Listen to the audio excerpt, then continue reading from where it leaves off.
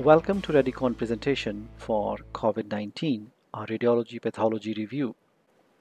You are welcome to listen to this lecture on our YouTube channel. You can also listen to this lecture on our website www.radicon.org where you can join in for video presentation, answer a quiz and get your COVID-19 radiology CME certificate. This presentation is divided into five parts. We will discuss basic microorganism and viral facts. Is virus a living thing or something else? How and where does it affect human body? What are the imaging findings and literature review? What is an effective use of radiology department and what are the required precautions? This is Dr. B and I will be with you in this journey. Scientific knowledge of microbial infections began in year 1020 when Avicenna, shown in the top image, suggested that TB and some other diseases might be contagious and a 40-day period of quarantine was essential to weaken the spread of contagious infections. That was very basic understanding. The real breakthrough came in 1673 when Antony van Leeuwenhoek, shown in the middle image, designed his own lenses and saw the microorganisms. Leeuwenhoek's most remarkable microscopic discovery was bacteria. They were just at the limit of what his simple lenses could make out. It was one of the most striking hiatuses in the history of science, and no one else would see bacteria again for over a century. His observations had also included protozoans, which he called animalcules. It is no wonder that he is considered the father of microbiology. Lastly, you can see two tobacco leaves, one normal while other is abnormal with mosaic pattern of a disease. It was called tobacco mosaic disease attributed to a non-bacterial pathogen as suggested by Dmitry Ivanovsky in 1892 and Martinus Beijerinck in 1898 who are credited for discovery of viruses leading to a new discipline of virology. A virus is a submicroscopic infectious non-living agent that replicates only inside a cell of another living organism. More than 5,000 viral species have been described in detail, while there are really millions of types of viruses in the environment. Viruses are found in almost every ecosystem on the earth and are most numerous type of biological entity. The study of viruses is known as virology which is subspecialty of microbiology. Although viruses are considered non-living, they seem to have genetic material and become biologically active in a host. A broad classification of viruses divides them on basis of genetic material.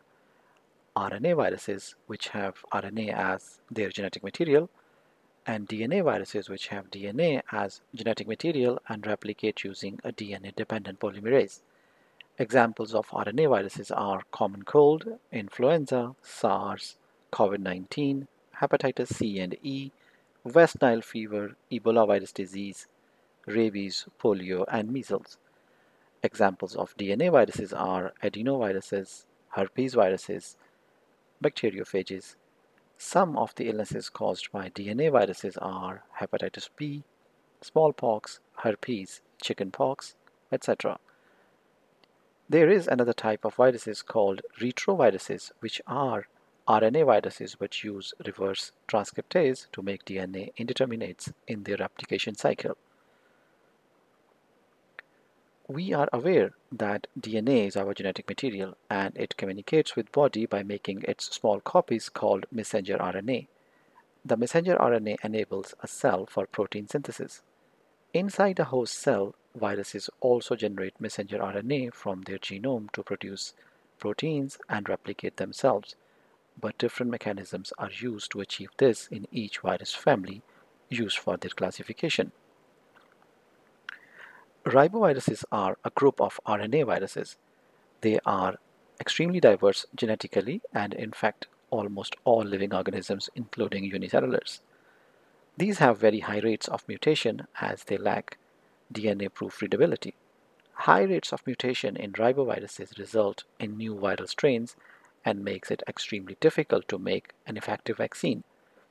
Riboviruses have led to multiple outbreaks of respiratory illnesses such as SARS, MERS-CoV, bird flu, and swine flu. Coronaviruses. The name was first used in 1968 by an informal group of virologists in journal Nature to designate a new family of viruses. The name coronavirus is derived from Latin word corona meaning crown which itself is a borrowing from a Greek word which means garland. Coronaviruses are divided into four types alpha coronaviruses and beta coronaviruses, which infect mammals, and gamma coronaviruses, delta coronaviruses, which primarily infect birds. Viruses are known for respiratory tract infections. These can be upper respiratory tract infections such as common cold, pharyngitis, epiglottitis, laryngotracheitis, and the associated changes such as sinusitis or otitis, or the viral illnesses can be lower respiratory tract illnesses such as bronchitis, bronchiolitis, and pneumonias. Common cold normally caused by rhinoviruses, which are also ribovirus or RNA virus family. These have more than 100 serotypes and are most common pathogens at least 25% of colds in adults are caused by rhinoviruses. Coronaviruses may be responsible for more than 10% of cases. Other pathogens include parainfluenza viruses, RSV or respiratory syncytial virus, adenoviruses, and influenza. Pharyngitis or sore throat is mainly viral and accompanies common cold or influenza. However, type A Coxsackie virus, adenovirus, herpes simplex, and sometimes Epstein-Barr virus and cytomegalovirus can also cause the same. Upper respiratory tract infections are usually benign, transitory, and self-limited. Although epiglottitis and laryngotracheitis or croup can be serious disease in children and young infants. Epiglottitis is mainly viral in origin and mostly caused by H. influenza type B. This is photo of an adult 48 years old man presented in an urgent care clinic with odynophagia and fever.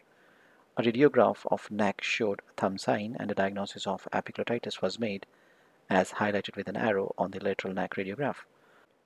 Direct visualization showed marked inflammation of the epiglottis and in the surrounding. A repeat laryngoscopy two weeks after the initial presentation showed complete resolution of the infection as seen on the left side of the screen. Interestingly, however, the culture results in this one showed it to be a bacterial infection. Parainfluenza viruses are the most common pathogen in laryngotracheitis or croup. Steeple sign is a radiological sign found on a neck radiograph where infection and mucosal edema in subglottic trachea results in luminal narrowing, and it appears like a church steeple. The above radiograph shows a steeple sign of croup or laryngotracheitis and is a clinical emergency. Bronchitis is a lower respiratory tract infection and is usually preceded by an upper respiratory tract infection or forms part of a clinical syndrome in diseases such as influenza, rubella, rubella, pertussis, scarlet fever, and typhoid. Bronchiolitis is a viral respiratory disease of infants and primarily affects smaller airways, common viruses being parainfluenza, influenza, adenoviruses, and RSV or respiratory syncytial virus.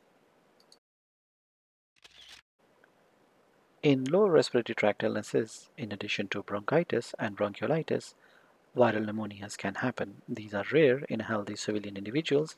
However, influenza viruses can be an exception with high mortality in elderly with comorbidities.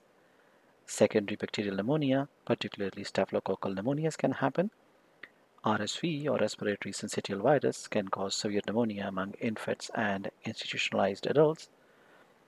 Adenoviruses may also cause pneumonias where serotype A adenoviruses have been associated with severe fatal pneumonia in infants. Varicella zoster virus pneumonitis is rare in children but it is not uncommon in individuals over 19 years old, and mortality can be as high as 10% to 30%. And measles pneumonias can occur in adults. That concludes our discussion on viruses, their origin, their types, and various pathologies caused by these. Next, we will look at the coronavirus and its imaging findings. In the third section of this presentation, the imaging findings, we will discuss primary pulmonary findings on chest x-rays and CT with some secondary pulmonary findings as well as structured reporting for COVID-19 cases. A number of factors affect the use of chest x-rays in COVID imaging. The first factor would be findings. Chest x-rays can show subtle findings in mild or early COVID infections Naturally, the moderate and severe infections will have more findings. However, despite this simple fact, radiology departments across the world have a very varied experience on use of chest x-ray in COVID imaging. Imagine a strict public health model which requires isolation of all infected patients. However, the problem is reliability of COVID testing is limited and turnaround times are long. In this case, the role of chest x-ray is limited and CT is preferred for early pneumonic changes. When patients are encouraged to present early in the course of disease, as was the case in Wuhan, China, chest x-ray had little value. Alternatively, in New York City, where patients were instructed to stay at home until they experienced advanced symptoms, chest x-rays were often abnormal at the time of presentation. Availability of CT is another important factor. Its availability or lack of a CT scanner will naturally affect the use of chest x-rays as imaging modality. Equipment and resources, chest x-ray portability and imaging within an infected patient's isolation room is an important factor which may favor chest x-rays in selected population, effectively eliminating the risk of COVID transmission along the transport route to a CT scanner particularly in the environments lacking PPE. Inpatient monitoring.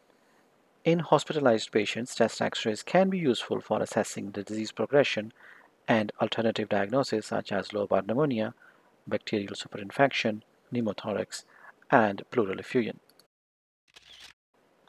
This is a chest x-ray in a 55 years old male patient which shows typical findings of a mild viral illness. There are early perihilar infiltrates with peribronchial cuffing and mildly hyperinflated lungs. It is a mild case of viral illness which turned out to be COVID-19 positive. Chest x-ray in a 47 years old male patient shows typical findings of mild to moderate viral illness.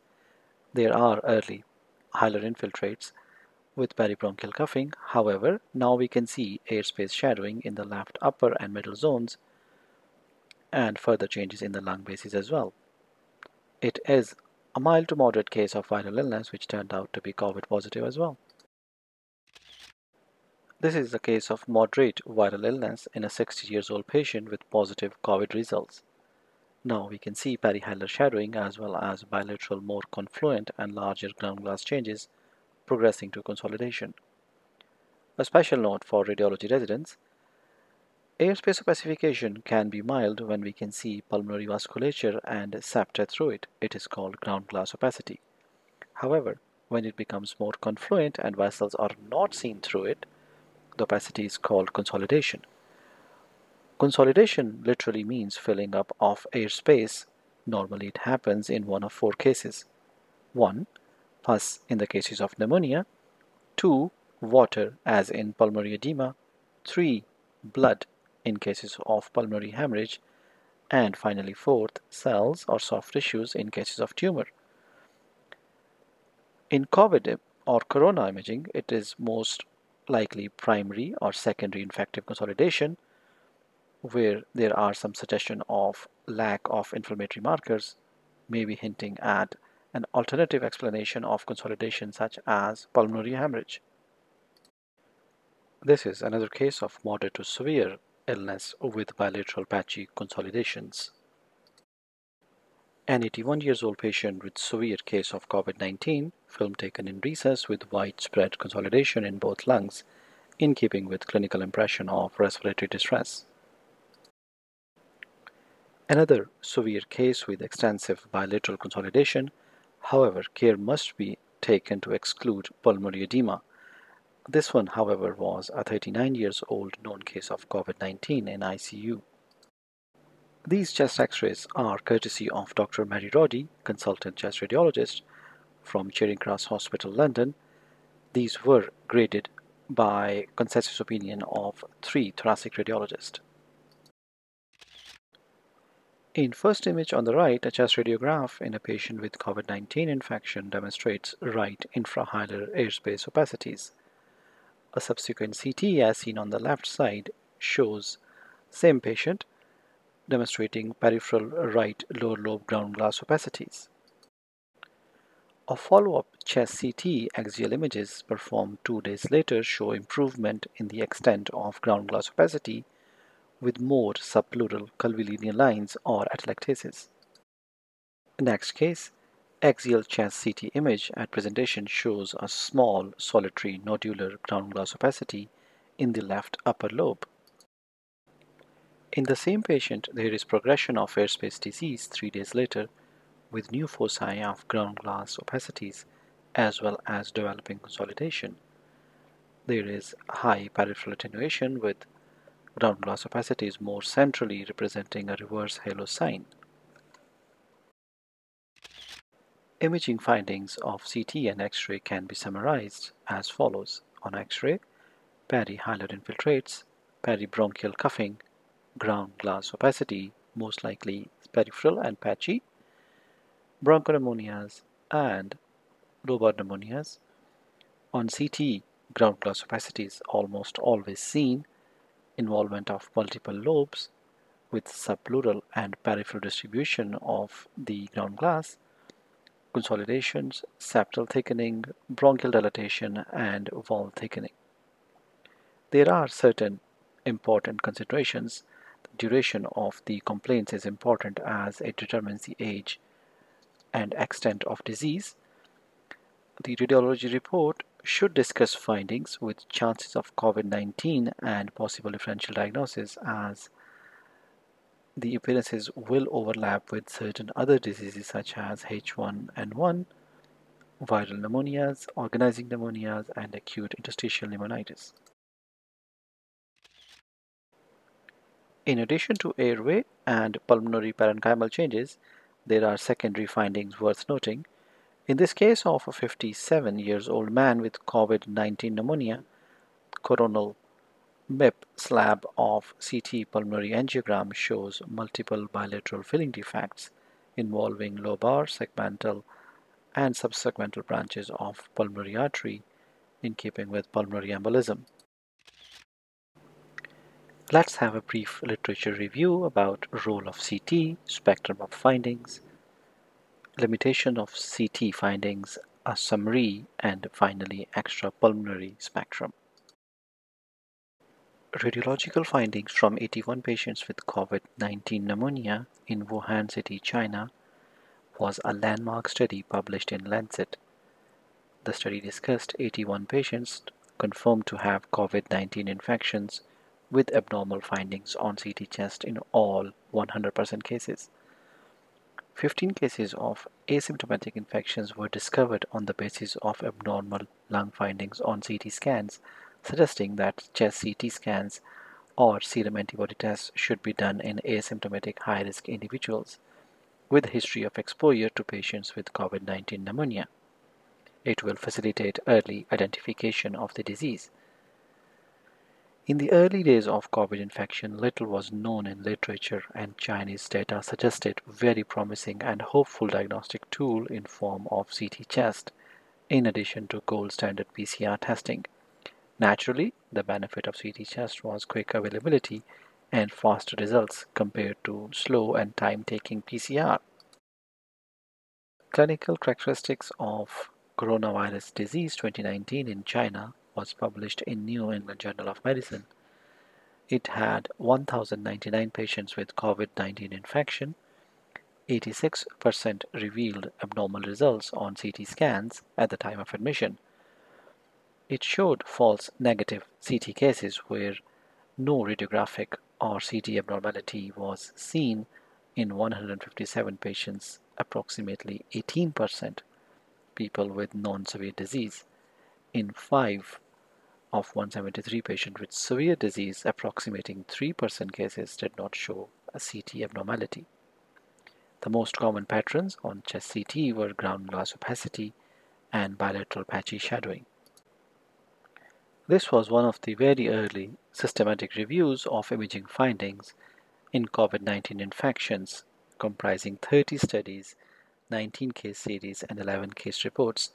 After combining of the available data, the characteristic pattern and distribution of CT manifestations were ground glass opacity in approximately 88% cases, bilateral involvement in 87% cases, peripheral distribution in 76% cases, and multi-lobe involvement in 79% of cases. Pulmonary findings in infections have varied spectrum. Some of these are more often seen in COVID, while others were not seen in COVID cases and suggested alternate diagnosis. CT features inconsistent with COVID-19 have been found to be tree in bud appearances, centrilobular distribution, bronchovascular distribution, predominantly nodular opacities, cavitation, lymphadenopathy, and pleural effusion. If these features are present, an alternate diagnosis or superinfection should be considered. CTs suggestive of COVID-19 infection have been ground glass opacity or consolidations, bilateral and multifocal involvement, peripheral distribution, rounded opacities, while late features have been linear opacities, crazy paving pattern, and reverse halo. Evidence is emerging that COVID patients can have respiratory distress and acute lung injury triggered by cytokine storm. Unfortunately, these changes are not limited to lungs and multi-organ failure can develop. There have been several cases of viral encephalitis in patients infected with coronaviruses. Three of such cases are shown in this picture from 2015 where corona MERS-CoV broke out in Saudi Arabia and a range of intracranial findings were seen in these patients, including diffusion restriction of the multiple white matter lesions with no post-contrast enhancement. Multiple FLAIR hyperintense lesions were seen in subcortical areas and deep white matter of frontal, temporal, parietal lobes bilaterally as well as in corpus callosum. Other abnormalities were diffusion restriction of bilateral frontal lobes and corpus callosum lesions and diffuse white matter signal changes in the insular cortex bilaterally. Also, in the last row, the coronal T2 weighted images and the bottom shows abnormality involving corticospinal tract bilaterally extending to the brainstem. In section 5 of this presentation, we will discuss use of radiology department in COVID pandemic. What are the factors affecting the radiology departments? How to manage departmental workflows? Do we need protocols and why? What are the current radiology challenges and recommendations?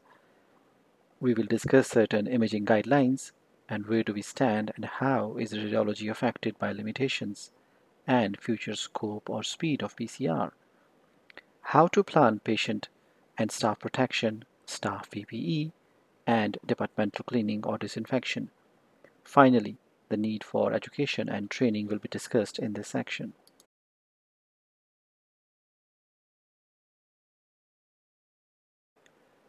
Role of imaging and extent of that role is influenced by a range of factors. Most prominent of that is RT-PCR, real-time PCR or reverse transcriptase PCR. It has been showing 42% to 71% of sensitivity with false negative testing of up to 29%. It has shown time constraints and was taking initially up to a week. However, testing is now much quicker and various types of tests require careful interpretation in terms of antigen or antibody testing. Availability or limitation of PCR defines the role of imaging as a support mechanism, especially in those areas which are influenced by availability or shortage of the test kits, and if a quick turnaround time is required. And finally, radiology can be very useful in prognostic value in terms of disease progression or recovery monitoring. It will be of value to see the pulmonary parenchyma after first infection with in COVID patients. All imaging departments need to be proactive to ensure prompt response to COVID patients. There should be an understanding and a triage pathway specifically for suspected COVID patients. Once the triage pathway is activated, an agreed fast-track diagnostic algorithm should be in place, which will require clinical lab and imaging collaboration. The teams should be familiar with the fast track pathway to handle possible screening patients or known cases of COVID 19 for diagnostic or prognostic assessment. Such measures will avoid congestion in the radiology department and will reduce unnecessary staff and patient exposure. It is not easy to agree upon such diagnostic algorithms. Varying sizes and specialities of hospital varying population demographics, weather, proportion of elderly in a community, strength of public health systems, blend of governmental, private, and insurance-based model of clinical and health care, these are important factors to be considered. Hence, there have been a constant evolution of advice based on current evidence and resources. Central academic bodies such as British Society of Thoracic Imaging Royal College of Radiology, American College of Radiology, and European Society of Radiology have been main source to advise to departments of health in several countries. Evolving statements by these institutions, however, have been conflicting. On 6th of March 2020, the British Society of Thoracic Imaging noted that CT was not felt to have a role in COVID-19 diagnosis. This statement was revised in 11th of March. It was still not recommended but may be used for risk stratification. Royal College of Radiologists. On 12th of March 2020, Royal College statement did not see a role for CT in diagnostic assessment. However, it was revised on 27th of March 2020 and said CT may have a role in stratifying risk in acute patients, especially those requiring CT abdomen, and needing surgery. American College of Radiologists on 23rd, 22nd of March 2020 said CT not recommended for screening but only for symptomatic patients. European Society of Radiology noted on 2nd of February that CT is not for screening but helpful for patients with mild symptoms who have other risk factors. Please note that most of this advice was at time when there were long waiting times for RT PCR testing due to limited testing facilities. It had multifold reasoning. On one hand, it limited the use of CT scan in Western countries as opposed to Chinese literature. On the other hand, it limited spread of infection to radiology health staff, with radiology being high risk for transmission due to enclosed spaces, lack of protective kits, and almost no negative pressure chilled air-conditioned rooms. It had positive effect to avoid choking of the diagnostic pathways, which proved a big hurdle in most of European and American hospitals. After a fair confusion and evolving guidelines by multiple institutions, Finally, a more robust guideline came from Fleischner Society on 7th of April 2020. The Fleischner statement was uniquely comprised of a multidisciplinary panel comprising principally of radiologists and pulmonologists from 10 countries with experience managing COVID-19 patients across a spectrum of healthcare environments. It initiated Imaging is not indicated with patients with suspected COVID-19 and mild clinical features unless there are risks of disease progression. Number two, imaging is indicated in patients with COVID-19 and worsening respiratory status. Three, in a resource-constrained environment, imaging is indicated for medical triage of patients with suspected COVID-19 who present with moderate to severe clinical features and a high pretest probability of disease. We will look into those in detail now.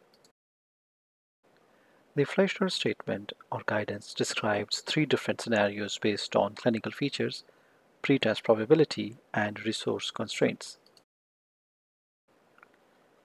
The table describes the definition and criteria for key components of these clinical scenarios. The severity of respiratory disease can be mild or can be moderate to severe. In mild, no evidence of significant pulmonary dysfunction or damage, such as absence of hypoxemia or no or mild dyspnea. In moderate to severe cases, evidence of significant pulmonary dysfunction or damage may be present, such as hypoxemia or moderate to severe dyspnea. The other factor is pretest probability. Based on the background prevalence of disease as estimated by observed transmission patterns may be further modified by individual's exposure risk and can be subcategorized as low pretest probability like sporadic transmission, medium pretest probability like clustered transmission, or high pretest probability at the time of community transmission. The resource constraint is the third factor which corresponds to availability of personnel, personal protective equipment, COVID-19 testing, hospital beds, or ventilators with the need to rapidly triage patients. The first clinical scenario has mild features referring to absence of significant or pulmonary dysfunction or damage with any pretest probability based on the background prevalence of the disease which could be further modified by a patient's individual exposure risk. In such scenario, a negative COVID-19 test and low pretest probability does not warrant any further imaging. Only if there are high risk factors for the disease progression, imaging may be indicated in selective cases. So summing it up, in scenario 1 with mild features, with negative COVID testing and low pretest probability, there is no much scope of imaging. However, if the test comes positive or there are high pretest probability with high risk factors, then imaging may be indicated. In the second scenario, with moderate to severe symptoms, any pretest probability, and no resource constraints, imaging would be required irrespective of the results of COVID-19 test results. In cases with negative testing, as seen on the right side, repeat testing or imaging may be required and an alternate diagnosis should be considered. Third scenario is more relevant to most places. It assumes moderate to severe symptoms, high pretest probability, and that resources are now limited or constrained. Moderate to severe features refer to evidence of significant pulmonary dysfunction or damage. High pretest probability is based upon high background prevalence of disease associated with community transmission and rapid COVID-19 test is point of care test with less than one hour turnaround time. If the test kit is not available and result is negative in moderate or severe clinical features, imaging is required and consultation suggested for investigating alternate diagnosis. If patient has strong features of COVID, then imaging may help in medical triage and further management. Left side of the picture shows cases where COVID test is available and positive then imaging may be indicated initially as a baseline and later for monitoring the respiratory status. Summary of Fleischner recommendations. The main recommendations are number one, imaging is not routinely indicated as screening test for COVID-19 in asymptomatic individuals. Number two, imaging is not indicated for patients with mild features of COVID-19 unless they are at risk for disease progression, as seen on scenario 1. Number 3. Imaging is indicated for patients with moderate to severe features of COVID-19 regardless of COVID-19 test results as seen in scenario 2 and 3. Imaging is indicated for patients with COVID-19 and evidence of worsening respiratory status seen in all scenarios. Point 5. In a resource-constrained environment where access to CT is limited, chest x-ray may be preferred for patients with COVID-19 unless features of respiratory worsening warrant the use of CT as seen in scenario 2 and 3. There are certain additional recommendations. Daily chest radiographs are not indicated in stable intubated patients with COVID-19. CT is indicated in patients with functional impairment with hypoxemia after recovery from COVID-19.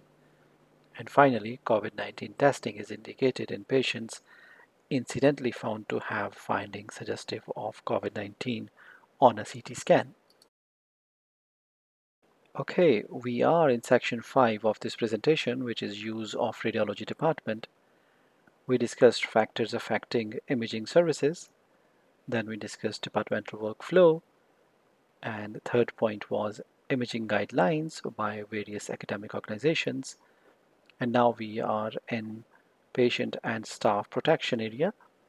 The main challenges are contamination of passages with patient movement, transmission of COVID to other patient, increased radiation risk for population, risk of cross-infection if disinfection is not done properly, infection transmission risk to staff due to increased exposure, and finally consumption of personal protective equipments or PPEs.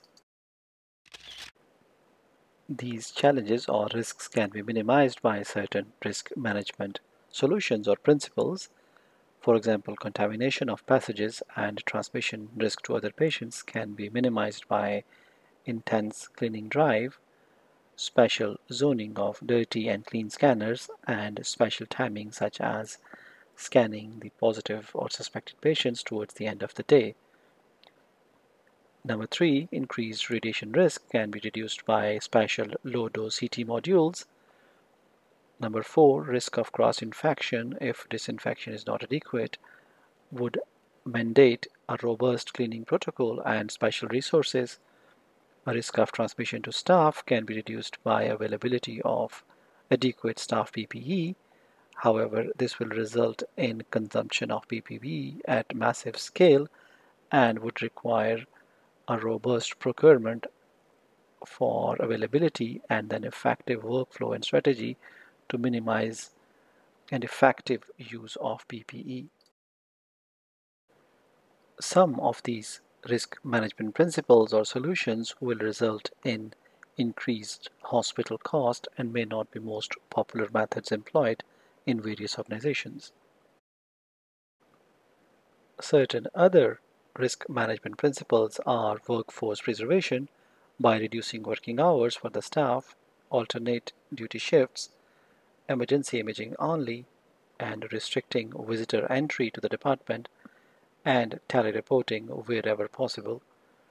Also, ensuring availability of PPE to general staff, especially high-risk staff at the reception, radiographers, sonologists or sonographers, the cleaning staff, and radiologists, in particular interventional radiologists.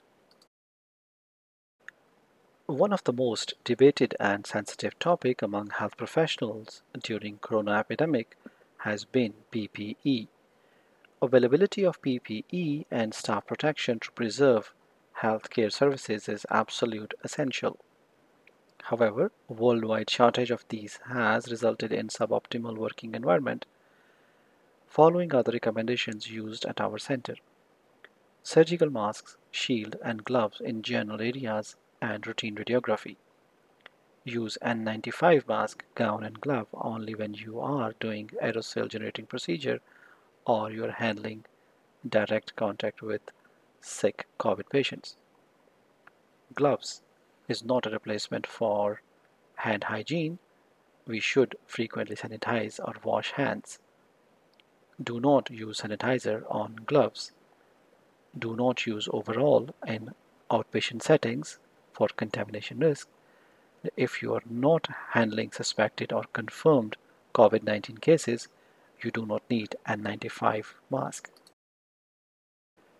Following is the CDC advice on PPE while caring for COVID patients. It stresses on need for identifying correct PPE and training to use with awareness of its limitation and how to maintain or dispose of PPE. PPE must be donned correctly before entering patient areas. PPE must remain in place and must be worn correctly for duration of work in contaminated areas. It should not be adjusted such as retying the gown or adjusting mask. PPE must be removed slowly in sequence to prevent self-contamination a step-by-step approach should be developed and used during training and real patient care. A preferred PPE for use is N95 respirator with face shield or goggles, one pair of clean and non-sterile gloves, and an isolation gown. However, if an N95 or a better mask is not available, a face mask with face shield and goggles can be acceptable alternative. CDC stresses on the need of donning or putting on the protective gear. It begins with identifying the correct PPE, performing hand hygiene, putting on the isolation gown, then face mask or N95 mask, then putting on face shield or goggles, after which you should perform hand hygiene before putting on gloves. And then the healthcare staff can enter the patient room. After the exposure to a COVID patient in patient's room or in a CT scanner, you will be required to take off the protective gear. It will begin with removing the gloves and gown before exiting the scanner room or patient room disposing these off in the appropriate trash box. Then perform hand hygiene, remove face shield or goggles, remove and discard the masks, perform hand hygiene again after removing the masks. Another set of recommendations suggest N95 mask, gloves, face shield, and protective gowns while dealing with COVID patients, for staff dealing with non-COVID patients, gown, glove, and face mask, mask are likely adequate. Although, understandably, many facilities will not have this level of PPE for staff dealing with non-COVID patients. Face masks, gloves, and sanitizers are considered adequate for general staff. Disinfection and cleaning are very important principles of current COVID pandemic, there has to be a massive cleaning campaign every day with regular checks. It is important for staff to wash hands and face regularly. The staff must wash hands on arrival and at the end of the hospital shift. All staff are encouraged to have cleaning at workspaces before and during the work Staff must clean their hands, mobiles, bags, personal equipment such as glasses and wallet on regular interval so these do not act as vectors for viral transmission.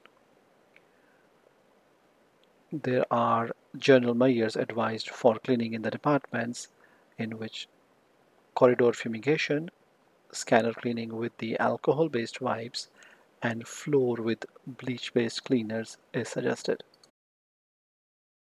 Although most hospitals and radiology departments are likely to have independent cleaning services which have expertise in disinfection of various surfaces and floors, following are some of the chemicals and substances which can be used for disinfection. Some more precautions for staff at the end of the shift including home and personal care General precautions should be adopted such as removing shoes outside the main door, clinic clothing in a separate container for washing, do not carry unnecessary hospital equipment and personal items to home including used PPE, washing hands and shower before mixing with the family members, may be a good solution, there is no indication for mask use inside the home. Education, training and awareness are few of the strongest tools in fight against corona. It can be done via educational videos on TV screens, in, at homes or hospitals, or by use of educational posters to disseminate guidelines and educational material. Remember, corona is evolving, and so is our response. Guidelines are likely to change and update. A robust education and training plan is essential in these circumstances for safety of patients and staff. And that is end of this presentation. Thanks to all of these wonderful publications and study material used for building this talk. These links offer great material for further study on this topic. This is Dr. B signing off. We wish you the very best in your fight against corona. Should you have any questions, please do not hesitate to contact us.